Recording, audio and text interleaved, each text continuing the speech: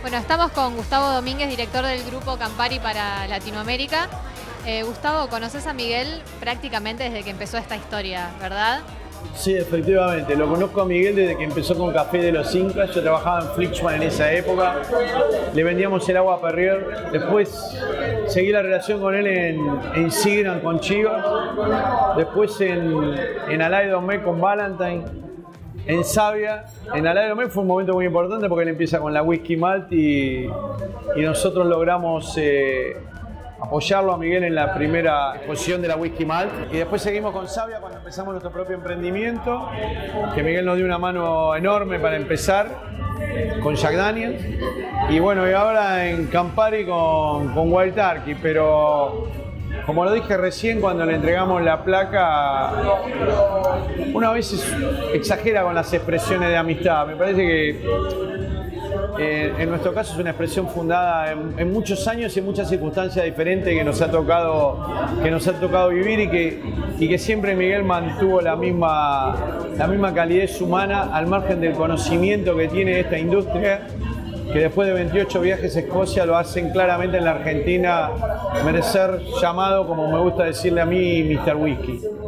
¿Tenés algún recuerdo eh, de él en ese momento? ¿Cuáles eran sus sueños, sus expectativas o la iniciativa que él tenía cuando lo conociste?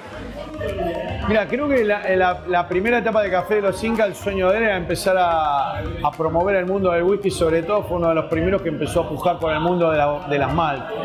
Cuando empezó con este sueño ahora del, museo, eh, creo que Alberto lo recordó muy bien hoy. Veníamos acá y veíamos una casa con, con toda la vegetación crecida de entrada y Miguel decía, acá va a estar el museo, acá voy a poner la vitrina y nosotros realmente decíamos, pero Miguel, ¿vos estás seguro? ¿Y vas a alquilar por tantos años? Y él, sí, no, lo voy a hacer, lo vamos a...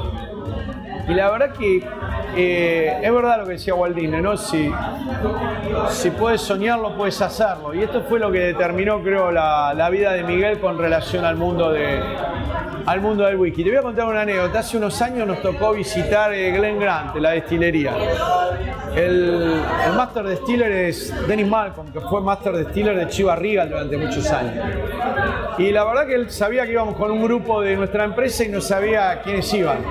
Y no iba a bajar a recibirnos, porque la verdad que no le correspondía.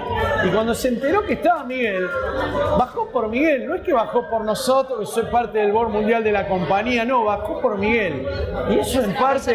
muy reconocida. Muy reconocida. Dennis Malcolm es uno de los tipos clave de la industria del whisky históricamente. Hace 25 años Dennis era director general de Chivas de Space es, y esto es lo que te marca la pauta de lo que es Miguel. Aunque vos tratás con él y es siempre un individuo que está mucho más emparentado con la humildad y con su devoción por transmitir el conocimiento del whisky que por, que por él mismo. Todo lo que tiene lo tiene merecido. y hoy el sueño está hecho realidad. ¿Qué sentís que le aporta Miguel al mundo del whisky en Argentina y al mundo, digamos. Yo creo que no se termina de valorar realmente todo lo que le aportó al mundo del whisky desde el punto de vista de, lo que ha hecho por la difusión de, la, de todas las compañías de whisky sin excepción. Porque eso sí es realmente estar comprometido con una industria. No únicamente con los más grandes, con los que más aportan, con todo el whisky en general.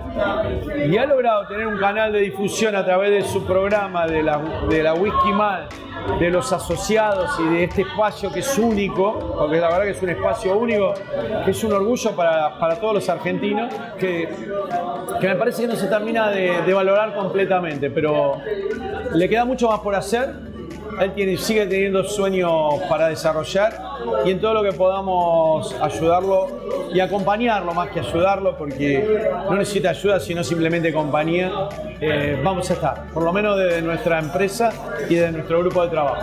Muchas gracias Gustavo y seguimos disfrutando de esta noche maravillosa acá en el museo. Gracias a vos y gracias a ustedes.